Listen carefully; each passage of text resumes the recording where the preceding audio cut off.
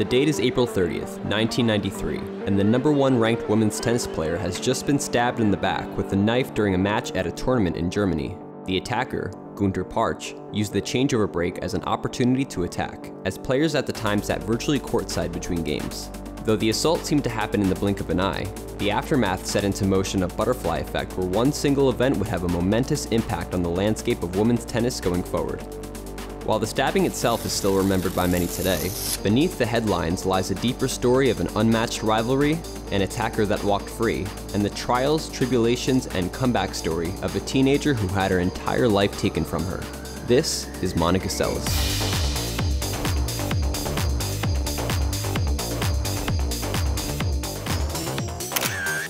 From the moment she played her first professional match as a 14-year-old, Monica Seles was a sight to behold. At 5 foot 4 and 90 pounds, she hit the ball harder than girls twice her size and age, using an extremely unconventional two-handed flat forehand and backhand to create relentless speed, power, and depth behind every shot. Within two years, though, a growth spurt helped her shoot up in both height and success, as she went from unranked in 1988 to the number 3 ranked tennis player in 1990 a year in which he compiled a 36 match winning streak and became the youngest ever French Open champion at 16 years old.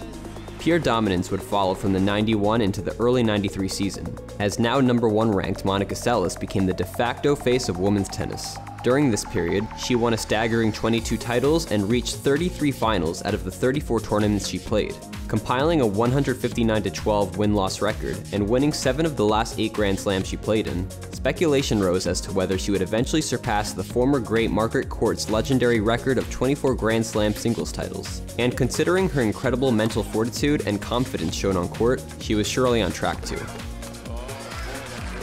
Yet if there was anyone who wanted that level of success just as much, it was rival Steffi Graf. Having been virtually unbeatable from 1987 to 1990, Graf was faced with a serious dilemma when Seles burst onto the scene, with the latter ending Graf's 66 match winning streak in 1990 and overtaking Graf's number one ranking in 1991, a spot she held for 186 consecutive weeks. Though Graf led their head-to-head record 6-4 heading into early 1993, primarily bolstered by early wins over a young teenage Seles in the 1980s, the paradigm shift in women's tennis dominance was unquestionable, with the still teenage sensation simply overpowering and outplaying the rest of her competition. Leading up to the 1993 French Open as a three-time defending champion, Monica Seles entered the Citizen Cup in Hamburg, Germany as a warm-up event to prepare her for the clay court season, it would be the last tournament she would enter for two and a half years. I remember sitting there toweling off, and then I leaned forward to take a sip of water. Our time was almost up, and my mouth was dry. The cup had barely touched my lips when I felt a horrible pain in my back. My head whipped around towards where it hurt, and I saw a man wearing a baseball cap, a sneer across his face. His arms were raised above his head, and his hands were clutching a long knife. He started to lunge at me again. I didn't understand what was happening. The man in question was Gunter Parche, who used Monica Seles' close proximity to the stands to carry out his attack, using a 10-inch boning knife to stab her between her shoulder blades to a depth of 1.5 inches. He would have struck again, had he not been subdued by fans and subsequently arrested. Though speculation initially rose that the attack was politically motivated, as Seles hailed from Yugoslavia and thus associated with the Yugoslav Wars, the real motive was soon revealed to be even more bizarre. Parche, as it would turn out, was an obsessive Steffi Graf fanatic, the latter of who had long been the leading German tennis player. Parche revealed that he had become suicidal when he witnessed Seles defeat Graf for the first time at the German Open in Berlin in 1990, and solidified his hatred when Seles was to eventually overtake Graf's hold on the number one ranking. His plan was simple, incapacitate Seles to restore Graf's number one ranking and continued success.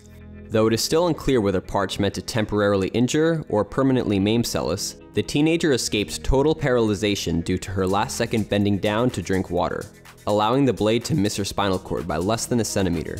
Though her injuries were mostly superficial as a result, with minor surgery allowing the site of injury to heal within weeks, the impact and trauma would massively affect Monica Seles' life going forward, with her real nightmare only just beginning.